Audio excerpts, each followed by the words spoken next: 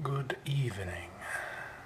I have just been on a nice walk around my neighborhood, sort of general area, and I found some interesting things.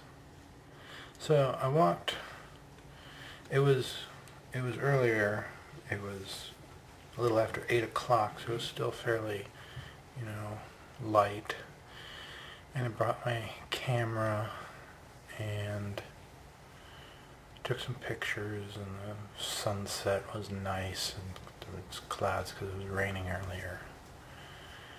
And that was nice. And then so I was uh, I walked up County Road E a little bit and came to Pine Tree Drive and I went down there.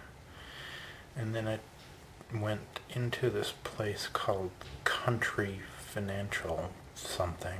I don't know what the hell they do there.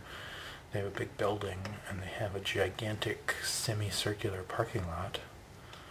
So I walked across the parking lot to the other side of the parking lot, the far side from where I was, and there was this path, a nice paved, you know, tarmac sort of path, and it went and it was sort of this little parkland behind the building. It was nice. There were like two ponds and it went between the ponds and I went down into some trees and then it started to get kind of, you know, close, close and dark because I mean it's evening, it's getting dark anyway and then, and then it's, you know, the trees are over you and it's, you know, becomes sort of ominous. And I'm not, you know, a super confident sort of person. Um, but I'm always, I've always been sort of cavalier about, you know, trudging into the uh, dark, ominous forest on this unknown path, so whatever. So I'm walking down this this dark, ominous path through the uh, through the obscure forest, and it's nice, you know. It, it's really pretty, and the uh, uh, trees and stuff. anyway, so then I'm walking down, and then there's this side trail. I'm making a gesture off camera that you can't see because I'm not very good at this. So there's this side trail, and this one's not paved. This is a clandestine path through the dark, ominous forest. And so uh, my first impulse is, well, yeah, I'm going to go down that path. So I'm walking down the clandestine path in the dark, ominous forest, and uh, after a while, I come to uh, a little creek running through the, the forest, and there's a, and I'm like, oh, that's not good. But then I get a little closer and I see there's a bridge. And I'm like, well, can't be all that clandestine of a path if there's an actual you know, bridge that somebody built.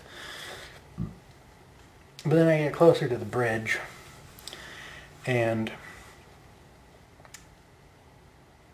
and I see the bridge. It's got two members that go across and it's got boards going over them, you know, perpendicular. And I get down there and I step on one of the boards in the middle and it gives a little bit. And so I know I don't want to, I don't, I don't want to walk down the middle of the bridge anyway. So the, the cross member in the, on the left seems a little, little bigger, a little beefier, so I'm going to go across on the left side of the bridge.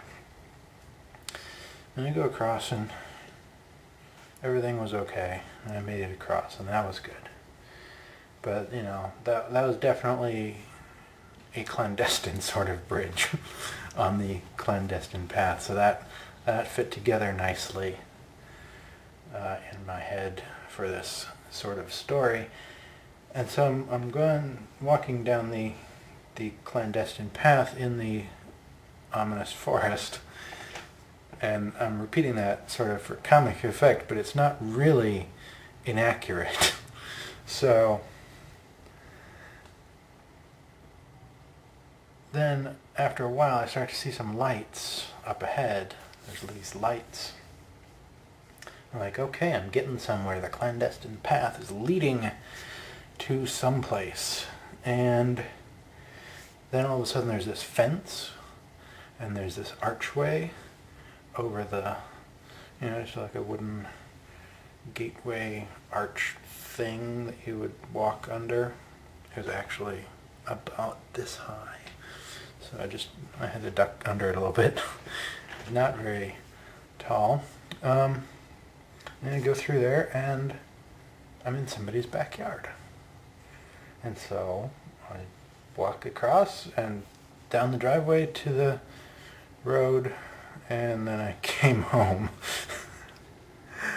uh, but the uh, the moral of the story is that, you know, dark clandestine paths through ominous forests are always fun. Uh, but uh, at some point, you have to remember that you're still in the suburbs.